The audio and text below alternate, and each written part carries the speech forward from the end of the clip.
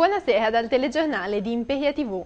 Il 2 ottobre aprirà al pubblico il Palasalute di Imperia. La nuova struttura assorbirà i servizi svolti dai centri di Viale Matteotti e dell'ufficio di igiene. Abbiamo visitato in anteprima il Palasalute accompagnati dal direttore generale dell'ASL. Vediamo.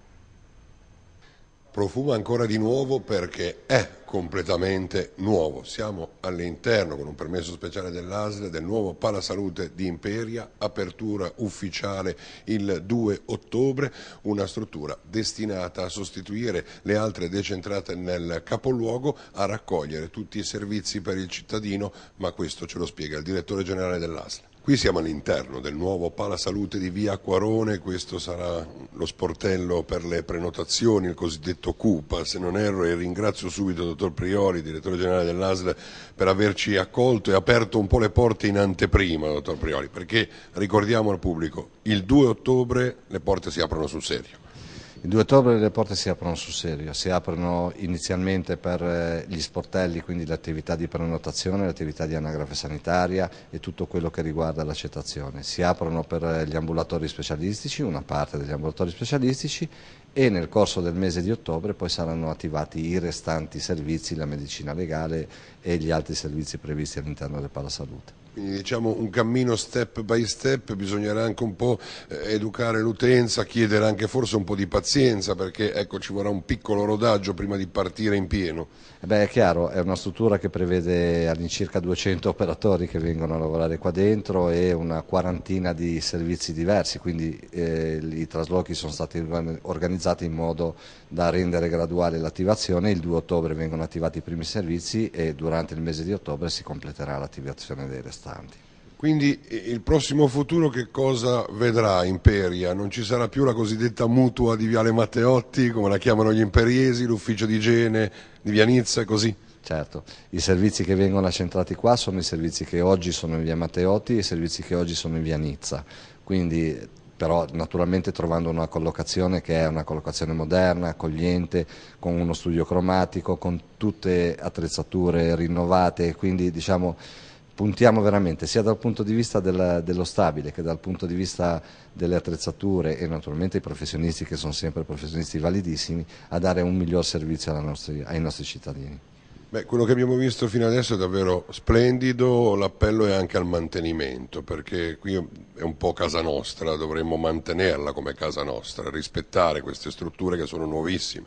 Eh sì, è uno dei problemi che abbiamo a volte nelle altre strutture dove purtroppo abbiamo anche degli atti vandalici, ma io credo e voglio, insomma, sono convinto che i nostri cittadini quando vedranno eh, quanto è bella questa struttura e quanto è accogliente, moderna e diciamo avranno anche, spero abbiano questo tipo di sensibilità. Il 2 ottobre a che ora si comincia? Che cosa troverà il cittadino che arriverà qui dove siamo noi oggi? Il cittadino principalmente verrà qui per le attività che riguardano le prenotazioni, il punto prelievi che fosse prima dimenticato, quindi manterremo per adesso attivi tutti e due i punti prelievi sia all'ospedale di Imperia che qui. Qui oltretutto non c'è più il limite che c'era in via Matteotti degli ultra 65 anni, ma tutti i cittadini potranno recarsi anche qui a fare i prelievi. Sottolineo come eh, ci siano più di 100 posti auto a disposizione dei nostri cittadini, quindi eh, anche dal punto di vista logistico del posteggio è una struttura che è assolutamente accessibile. Quindi prenotazioni, prelievi, sportello di anagrafe sanitaria, accoglienza e ambulatori medici su prenotazione per i quali abbiamo già avvertito i cittadini attraverso il sistema di prenotazione che nell'ora e nella data indicati si debbano recare qui in via Quarone. Ritrovamento anomalo di fronte alla casa del procuratore di Imperia, Grazia Pradella. Il magistrato ha infatti trovato sotto lo zerbino, fuori dalla porta di casa, uno spartito musicale. Le autorità locali hanno convocato un nuovo comitato di sicurezza. Sentiamo. Uno spartito musicale nascosto sotto lo zerbino, proprio sulla porta di casa del procuratore capo della Repubblica d'Imperia, Grazia Pradella. Un ritrovamento alquanto anomalo avvenuto nei giorni scorsi che ha spinto le autorità locali a convocare un nuovo comitato di sicurezza per valutare l'efficacia delle attuali misure di protezione cui è sottoposto il magistrato, già vittima nei mesi scorsi di un furto all'interno del proprio appartamento nel centro di Oneglia. Non è chiaro se dietro il gesto si celi un messaggio intimidatorio in codice, ma resta il fatto che ignoti siano riusciti a introdursi ancora una volta nel palazzo dove risiede il procuratore capo e raggiungere senza problemi l'appartamento del magistrato che, lo ricordiamo, vive dal 1995 sotto scorta, dopo aver ricevuto minacce di morte a seguito dell'inchiesta bis sulla strage di Piazza Fontana. Inoltre, nei giorni precedenti, ignoti avevano più volte suonato il citofono dell'appartamento dove risiede la padella, che al momento dei fatti infatti, trovandosi in casa, aveva avvertito gli uomini della scorta e le forze dell'ordine. Chi ha agito deve aver atteso che le forze dell'ordine si allontanassero ed è probabile che conoscesse i movimenti del magistrato. Il comitato di sicurezza si è riunito nella giornata di sabato e al momento nessuna decisione è stata presa sul possibile rafforzamento delle misure di protezione del magistrato, ma nei prossimi giorni il comitato si riunirà nuovamente.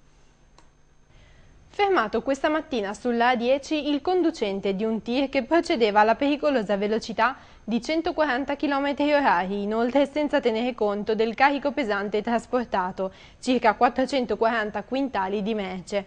L'autista è stato denunciato per attentato alla sicurezza dei trasporti. Il servizio. Da Madrid a Milano, un viaggio col piede schiacciato sull'acceleratore a una velocità di 140 km h per consegnare il carico e non perdere lo stipendio. È il racconto che un autista di nazionalità bulgara ha fatto agli agenti della polizia stradale di Imperia, che lo hanno fermato sulla A10 a Ceriale. Si è scoperto che il tachimetro del mezzo pesante era stato manomesso attraverso la sospensione a comando e il conducente percorreva la A10 a una velocità pericolosa, senza peraltro tenere conto del carico trasportato, 440 quintali di merce. Il viaggio folle del TIR si è concluso in Riviera dopo che il mezzo era stato segnalato da alcuni automobilisti. L'autista è stato denunciato alla magistratura savonese dalla polizia stradale per i reati di attentato alla sicurezza dei trasporti e rimozione o omissione dolosa di cautele contro infortuni sul lavoro. La polizia stradale sottolinea che in questi ultimi tempi è notevolmente cresciuto il numero dei conducenti che viaggiano senza rispettare i tempi di guida e di riposo. Inoltre anche sul territorio autostradale ligure si sono verificati incidenti con protagonisti veicoli pesanti che per fortuna non si sono trasformati in tragedia ma che hanno causato danno alle persone e gravato sull'economia del paese. Scoperto stamani a Sanremo in corso degli inglesi un quantitativo di merce contraffatta tra borse e portafogli destinata ai venditori abusivi del mercato bisettimanale matuziano, denunciata una coppia di italiani che deteneva la merce sequestrata. Vediamo. Nell'ambito dell'attività investigativa per il contrasto alla vendita di merce contraffatta dopo un'intensa operazione di indagine gli agenti della Polizia Giudiziaria, della Polizia Municipale di Sanremo insieme al personale del poliziotto di quartiere e della Polizia Giudiziaria del Commissariato di Sanremo hanno effettuato una verifica presso l'abitazione di un italiano in corso degli inglesi dove è stato rinvenuto un deposito con un ingente quantitativo di merce con il marchio contraffatto. La merce era destinata a rifornire i venditori extracomunitari che frequentano il locale mercato ambulante del martedì e del sabato. I pezzi posti sotto sequestro risultano essere circa 500 recanti varie marche di borse e portafogli per un valore che si aggira al dettaglio di circa 20.000 euro. Sono stati quindi deferiti all'autorità giudiziaria per ricettazione, introduzione nello Stato e commercio di prodotti falsi un 42enne e la sua compagna di 29 anni. Sempre in merito all'abusivismo commerciale, la città di Ventimiglia chiede interventi più efficaci per porre un freno a questo fenomeno. A questo proposito ieri si è tenuto un incontro con lo scopo di trovare una soluzione per un problema che affligge in particolare il mercato settimanale. Sentiamo.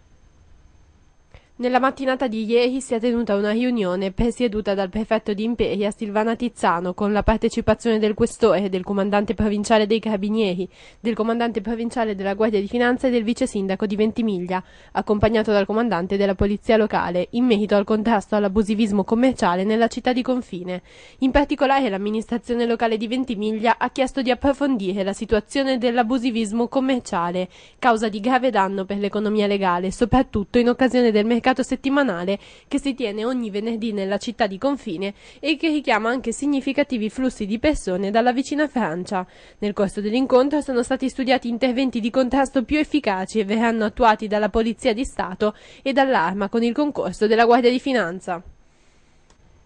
E stiamo su Ventimiglia, dove ieri alla visita dell'assessore allo sviluppo economico Edoardo Rixi al deposito merci del Parco Roia era presente anche il consigliere regionale e capogruppo della Lega Nord Alessandro Piana.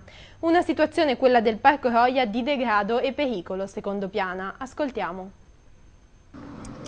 Oggi è importante la presenza dell'assessore qua al Parco Roia perché ha voluto rendersi conto di persona di quelle che, sono, di quelle che possono essere le, eh, le future potenzialità di quest'area, ma soprattutto di quelle che sono le momentanee carenze dovute alla presenza di, di migranti eh, del, parco, del, parco, Roia gestito dalla Croce Rossa perché eh, i gestori del parco hanno detto che eh, durante tutte le ore del giorno e della notte eh, questi migranti cercano di salire sui treni eh, treni che oltretutto trasportano anche materiale pericoloso per riuscire ad andare in Francia. È chiaro che situazioni di questo tipo di, di, di degrado e di pericolo non attraggono certo investitori, quindi la presenza dell'assessore oggi è dovuta a, principalmente a questo, a questo importante fattore, perché in prima persona poi dovrebbe dare le risposte agli imprenditori che gli chiedono eh, se è opportuno investire in quest'area, noi riteniamo di sì e quindi eh, oggi la presenza dell'assessore, ripeto, la riteniamo di fondamentale importanza. Di fronte alla Corte londinese, Albenga opta per la transazione nell'ambito della causa con la Deutsche Bank, ma lo swap resta i particolari in un servizio. È finito con una transazione, il braccio di ferro che vedeva da una parte la Deutsche Bank e dall'altra il comune di Albenga, per la vicenda relativa alla ristrutturazione del debito dell'ente attraverso operazioni in strumenti finanziari derivati, che era arrivata dinanzi all'Alta Corte di Londra. L'accordo tra le parti, citato anche in una delibera di giunta, evita di fatto la persecuzione di una causa che avrebbe comportato danni enormi per le casse comunali, non solo per le spese legali, ma anche per le scarse possibilità di pronunciamento favorevole per Albenga del giudizio inglese. Non solo, l'accordo raggiunto tra il comune e la banca di Francoforte garantisce la rinuncia da parte dell'istituto di credito a proseguire la causa, aprendo la strada alla possibilità di rinegoziare il derivato o di risolvere anticipatamente il contratto per una cifra da definire in una successiva trattativa.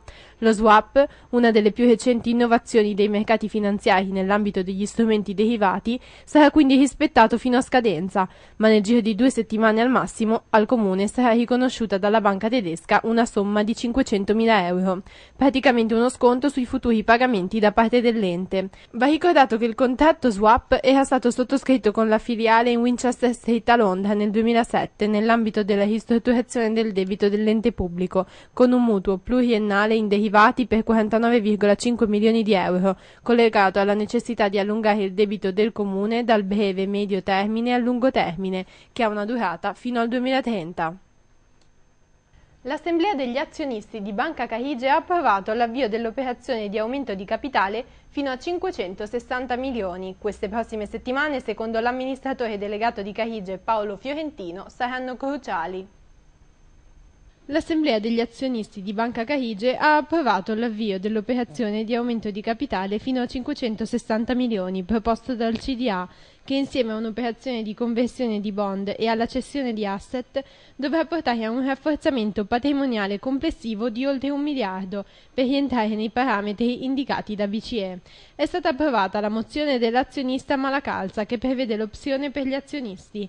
È un momento difficile ma è un passaggio obbligato. Andiamo avanti con fiducia e affrontiamo queste prossime settimane che saranno cruciali, ha detto la D di Carige Paolo Fiorentino, subito dopo l'assemblea degli azionisti. Adesso, ha aggiunto Fiorentino, dobbiamo lanciare ufficialmente l'operazione sugli LME, ovvero la ristrutturazione dei nostri subordinati, che precederà l'aumento di capitale e che se, come spero, andrà bene, darà molta fiducia anche all'aumento stesso. Ci fermiamo solo un istante, restate con noi, a tra poco.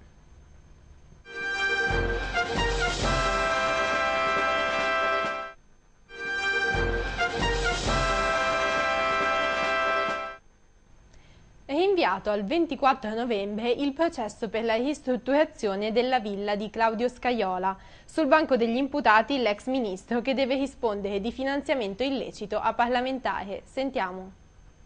È stato rinviato al 24 novembre il processo che vede imputato Claudio Scaiola per la ristrutturazione di Villa Ninina sulle alture di Imperia. Sulla dimora dell'ex ministro nel corso dell'ultima udienza il consulente Lorenzo Branca di Genova, nominato dal giudice Caterina Lungaro, ha lavorato a una relazione sui soldi spesi per la ristrutturazione della villa.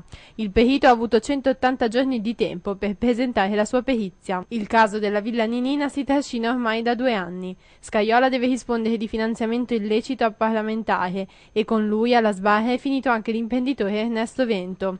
A sostenere la pubblica accusa è il PM Alessandro Bogliolo che contesta a Scaiola di aver usufruito di uno sconto eccessivo dall'impresa di Vento che ha effettuato gli interventi nella dimora di via Diano Calderina sulle alture di Oneglia. Nelle udienze precedenti c'era stata una lunga sfilata di testimoni, tra cui anche l'ispettore Ivan Bracco, comandante della Polizia Postale e delle Telecomunicazioni per la provincia di Imperia. Con lui anche gli uomini della Guardia di Finanza che avevano effettuato verifiche contabili sui pagamenti all'arco che aveva effettuato i lavori di ristrutturazione della dimora di Scaiola. ISA ha celebrato oggi la giornata finale di Tutti giù per terra, un progetto di riabilitazione svolto con altri enti e scuole. Il progetto è legato alla conoscenza del territorio e alle sue caratteristiche. Vediamo il servizio. Tutti giù per terra, questo è lo slogan, il progetto dell'ISA, che è il centro di riabilitazione di Imperia, qui vicino a me c'è il presidente Stefano Pugi e ogni volta che veniamo qua troviamo una festa, perché questa è la, è la, verità, con tutti i ragazzi che ormai fra l'altro ci conoscono, ci vengono a salutare, a abbracciare e per me è un momento anche un po' di commozione, di, di, eh, ma anche di gioia, perché comunque ci si ritrova veramente in un ambiente che non si penserebbe restando all'esterno di questa struttura. Tutti giù per terra che cosa vuol dire? Vuol dire andare a contatto con la terra e portare questi ragazzi anche a conoscenza degli orti, delle coltivazioni, del territorio. Sì, Tanto mi fa piacere quello che hai appena detto, della confidenza ai ragazzi dell'ISA che danno anche agli sconosciuti perché fa capire che non è un mondo chiuso, anzi aperto aperto a tutti. I ragazzi quando sono sereni come lo sono sempre qua da noi eh, gratificano gli ospiti e questa è già una ci cosa. Ci accolgono bella. ormai come amici, e, siamo, ci sentiamo a casa. E questa credo sia una considerazione che hai fatto meravigliosa proprio per spiegare il progetto. Il progetto di per sé, eh, sì, noi l'abbiamo chiamato la giornata della terra. La giornata della terra perché è un progetto che è stato strutturato in due anni dove i nostri ragazzi hanno fatto veramente di tutto, hanno fatto escursioni nei boschi, hanno fatto escursioni in ognuno di questi stand che vedete, hanno partecipato ai loro vivai, hanno capito come, come si faceva, come si seminava. Io devo ringraziare le, le, le esecutrici di questo progetto, la Serena eh, Nervi e Federica Lamoino che sono state loro e materialmente hanno curato i ragazzi, i ragazzi in questa avventura.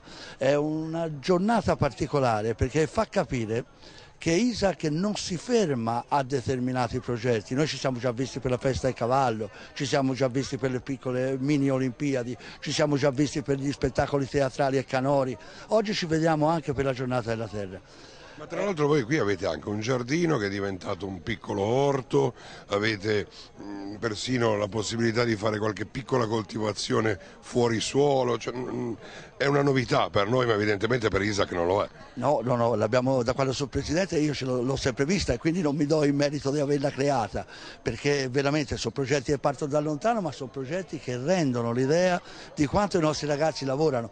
Guardate bene, non è portarli a cogliere un fiore, eh? questo fa parte di un progetto progetto riabilitativo studiato dai medici, dagli psichiatri, dagli psicologi, dai neuropsichiatri.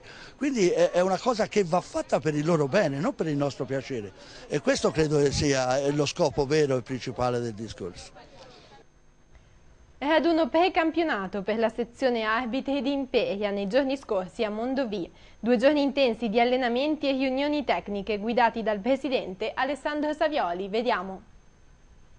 Due giorni intensi di allenamenti e riunione tecnica hanno composto il raduno precampionato degli arbitri della sezione di Imperia guidato dal presidente Alessandro Savioli che si è svolto nei giorni scorsi a Mondovì.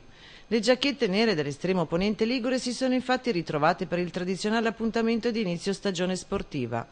Al raduno hanno preso parte anche l'assistente di Serie A Stefano Alassio, l'arbitro di Serie B Fabio Piscopo e il componente della commissione arbitri interregionale Maurizio Viazzi. Durante la prima giornata si è svolta una riunione tecnica il cui presidente Savioli e l'organo tecnico sezionale Luigi Rambaldi hanno impartito le direttive per la nuova stagione. La seconda giornata si è invece aperta con un allenamento collettivo, condotto dalla responsabile atletica Federica Sibilla, seguito dai tradizionali test di velocità e di fondo necessari per verificare lo stato di forma fisica. Stefano Alassi ha quindi tenuto direttamente sul terreno di gioco una lezione dedicata alla comunicazione non verbale. Intenso il pomeriggio finale con una lezione motivazionale condotta dal vicepresidente Federico Marchi, un approfondimento sulle novità regolamentari illustrate da Alessandro Masini del settore tecnico ed un focus dedicato al calcio a 5 del mentor ligure Antonello Motosso. A partire dal 1 ottobre sarà attivo il servizio di riscossione per i verbali del codice stradale anche presso il comando della Polizia Municipale ad Imperia. Per il momento il pagamento non potrà essere effettuato tramite contanti, ma con carta di credito, bancomat o altre monete elettroniche. La riscossione sarà attiva presso l'ufficio contenzioso del comando di Via Spontone, negli orari dalle 9 alle 12, dal lunedì al sabato. Nelle prossime settimane verrà attivato anche il pagamento tramite contanti e forme alternative. Solenne celebrazione liturgica questa mattina a Imperia, nella Basilica del Duomo di Porto Maurizio, per la ricorrenza di San Michele Arcangelo, patrono della Polizia di Stato. La funzione è stata celebrata dal vescovo di Albenga Imperia, Monsignor Guglielmo Borghetti.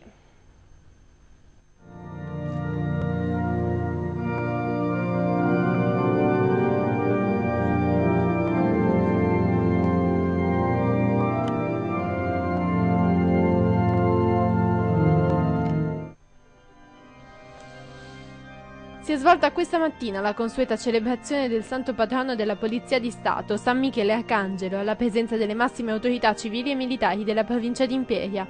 La celebrazione della Santa Messa è stata officiata alle ore 11 presso la Basilica di San Maurizio dal vescovo della diocesi di Albenga Imperia, Monsignor Guglielmo Borghetti, unitamente al cappellano della Polizia di Stato Don Ivan Cattaneo, al parroco della Basilica Don Lucio Fabris e al viceparroco Don Gianluigi Peirano. Il servizio liturgico è stato svolto dai diaconi Alex Dell'Erba e Carlo Brilla. Nella ricorrenza sono stati ricordati tutti i caduti della Polizia di Stato. Presenti il prefetto e il questore della provincia di Imperia, il comandante provinciale dell'Arma dei Carabinieri, il sindaco Capacci, il presidente della provincia Fabio Natta e una nutrita rappresentanza di poliziotti in servizio e in congedo.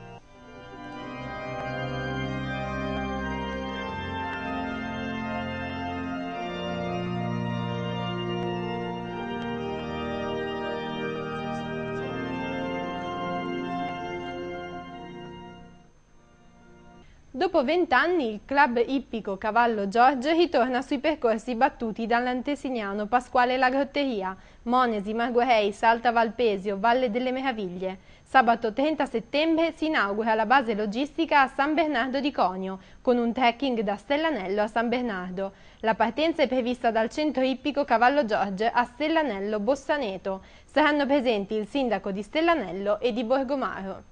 Sentiamo adesso Riviera Eventi e poi i cantieri sull'autostrada dei Fiori.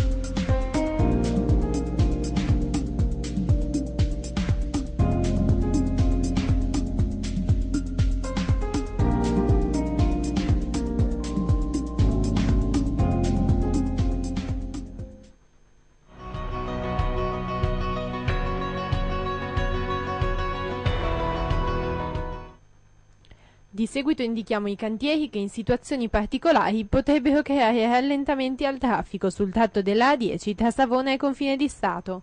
direzione Francia, carreggiata nord, tra Feglino e Finale Ligure, carreggiata chiusa con doppio senso sulla carreggiata opposta per sostituzione dei ventilatori nella galleria Carpania dal 25 settembre al 1 ottobre.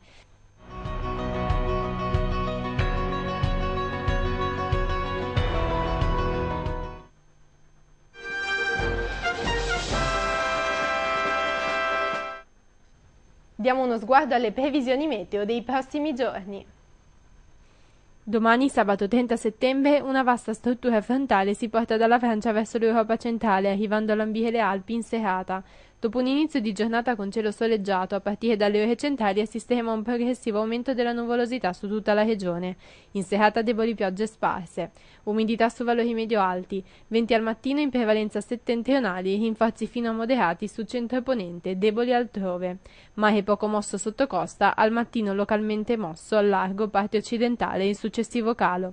Dopodomani, domenica 1 ottobre, fino alle prime ore pomeridiane cielo molto nuvoloso con deboli piogge sparse, più probabili sui rilievi e nell'interno. Nel corso del pomeriggio prime parziali schiarite su centro e ponente, in un contesto di variabilità.